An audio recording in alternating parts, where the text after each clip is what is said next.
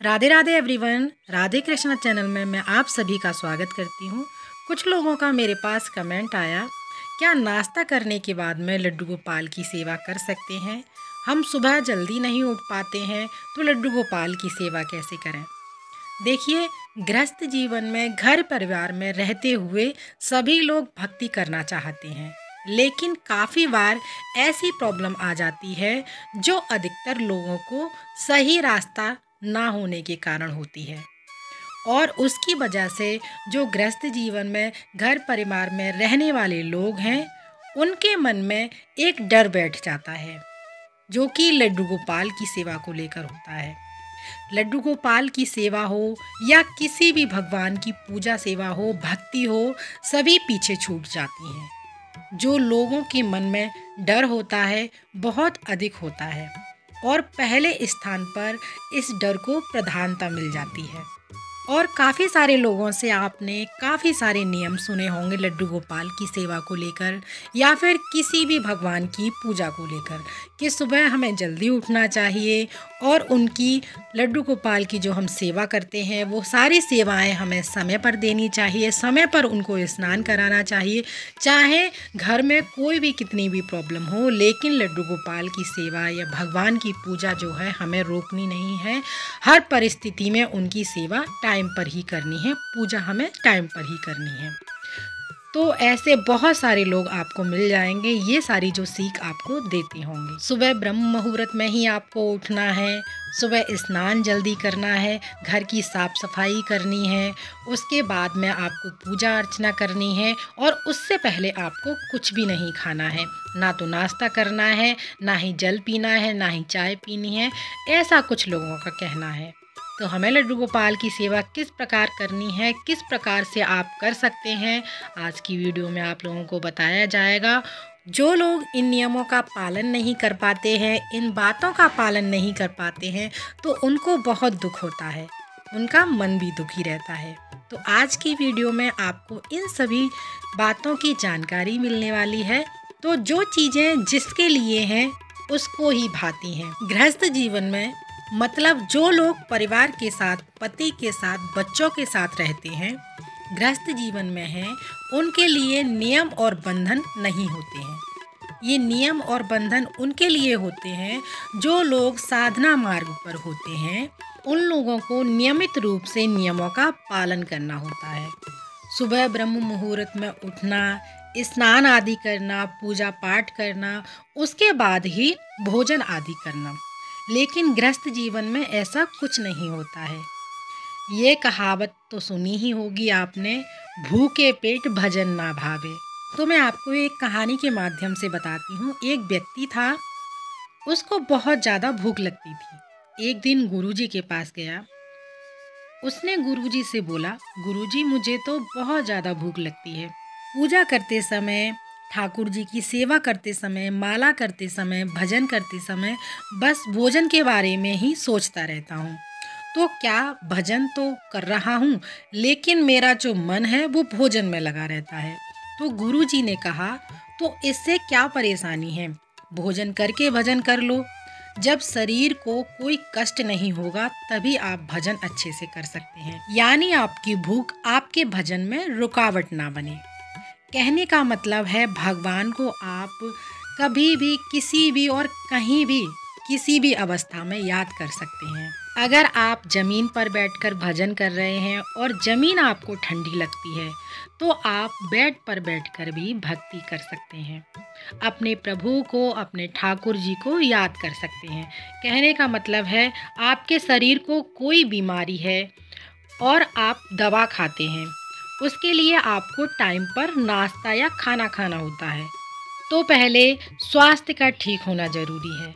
जब आपका स्वास्थ्य ठीक होगा, तभी आपका मन भक्ति में, सेवा में लगेगा। वरना तो आपका जो मन है, वो भोजन के बारे में ही सोचता रहेगा।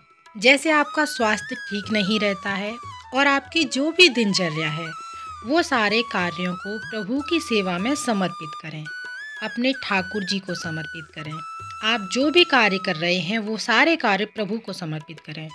समर्पित करने का तात्पर्य ये नहीं है कि जब आप ठाकुर जी के पास बैठकर माला जप करें तब करते हैं, वही आपको समर्पित करना है।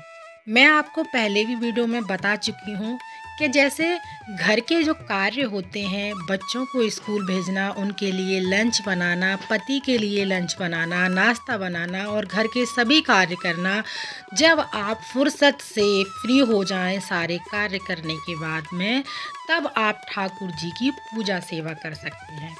ये ऐसा नहीं है कि आप ब्रह्म मुहूर्त में साढ़े चार बजे उठें और घर का कार्य करने के बाद, यानी साफ़ सफ़ाई करने के बाद में ठाकुर स्नान करें, फिर स्नान करने के बाद में ठाकुर जी को जगाएँ, उनको स्नान कराएँ, पूजा आरती करें। सबसे पहला है घर परिवार की ज़िम्मेदारी संभालते हुए जितना कर सको, अपनी सुविधा अनुसार उतना ही करना है। बोझ नहीं बनाना है हमें लड्डू गोपाल की सेवा को।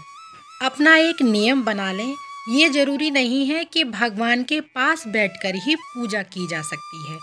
जब भी टाइम मिले, जितना भी टाइम मिले तब अपने मन को, अपने आप को पूर्ण समर्पित करना है। अपने ठाकुर जी को याद करना है। यही आपकी पूजा है, यही आपकी सेवा है, यही आपका जप है, यही आपका भजन है, यही आपका तप है। यही सब कुछ है। कुछ सेकंड के लिए ही सही आप अपने अंदर के मन से अपने ठाकुर जी को याद करोगे, फिर चाहे वो आप कहीं भी हो, किसी भी अवस्था में हो, आप एक सेकंड दो सेकंड के लिए प्रभु को याद ज़रूर करें अपने मन से। तो ये ज़रूरी नहीं है कि हम प्रभु के पास बैठकर ही पूजा कर सकते हैं, भजन कर सकते हैं, लड्डू गोपाल की सेवा कर सकते हैं। वो आप कहीं भी हों, किसी भी अवस्था में हों, बस आप अपने अंतरतः मन से, हृदय से जब उनको याद करते हैं तो वही आपकी पूजा होती है, वही आपकी भक्ति होती है। फिर चाहे आप नाश्ता करने के बाद भजन कीजिएगा, चाहे भोजन करने के बाद भजन कीजिएगा, अपना भोजन करने के बाद भी यानी भजन आप कर सकते हैं। शरीर भी कहेगा, अब मैं भी संतुष्ट हूँ। तो दोनों साथ में मिलकर भजन करते हैं, अपने प्रभु का यानी चिंतन करते हैं। शरीर को कोई कष्ट नहीं होगा तो ठाकुर जी की सेवा में अच्छे से मन लगेगा। यानी कहने का मतलब ये है, आप नाश्ता करने के बाद भी भजन कर सकते हैं लड्डू गोपाल की सेवा कर सकते हैं। इसलिए अगर आपको जल्दी भूख लगती है तो आप नाश्ता करने के बाद भी लड्डू गोपाल की सेवा कर सकते हैं। तो आपको ऐसी किसी भी बात से डरने की ज़रूरत नहीं है। गृहस्थ जीवन में रहकर भक्ति करना बहुत आसान है। प्रभु के निकट पहुँचने का बहुत ही आसान रास्ता है। फिर चाहे वो लड्डू गोपाल की सेवा हो या किसी भी भगवान की पूजा सेवा क्यों ना हो, हमारी भक्ति को और सरल बना देती है। प्रभु के निकट पहुँचने का बहुत ही आसान रास्ता है अपने परिवार, अपने घर के सभी कर्तव्यों का पालन करते हुए दिन में जब भी टाइम मिले, ठाकुर जी को याद ज़रूर कीजिएगा। उनकी सेवा जब आपको टाइम मिल जाए, आप अपने टाइम के अकॉर्डिंग उनकी सेवा कर सकते हैं। अपने घर के कार्य सारे खत्म करने के बाद, पूर्ण करने के बाद जब आप संतुष्ट मन से अपने ठाकुर जी की सेवा करेंगे तो पूर्ण रूप से आप उनको समर्पण दे पाएँगे। फिर आपको घर के कार्य की कोई चिंता नहीं रहेगी और जिस भी प्रकार से आप लड्डू गोपाल की सेवा करेंगे, ठाकुर जी की सेवा करेंगे, वो आपकी सारी सेवाएँ स्वीकार करेंगे। क्योंकि पहला कर्तव्य होता है हमारा घर के, घर परिवार के सभी लोगों का जो कार्य है वो पूर्ण रूप से करना।